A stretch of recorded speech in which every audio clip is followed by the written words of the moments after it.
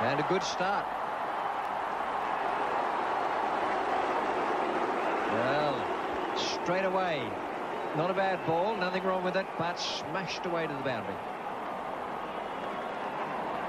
Well, exactly the start that Sri Lanka are looking for. Craig McDermott, bit of a loose nut, just short and wide outside the off stump. And hammered away. Throwing caution to the wind early on the Sri Lankans, obviously signifying their intentions. Kaluwitharana is uh, the man taking strike. He's been pushed up the order. Oh, what a shot. Just a gentle little pick-up off his pads, and he's whipped it away over square leg to the boundary. This wasn't such a bad ball from Paul Reiffel.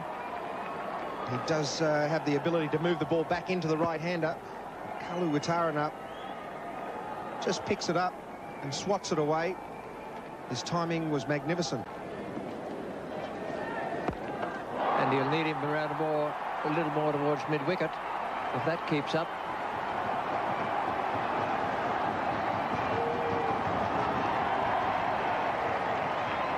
It's a relay throw. Oh, it needed to be good, and he was gone. For one moment, the fielder hesitated, taking the relay throw. Might have reckoned, as he glanced over his shoulder, they weren't going for the extra run.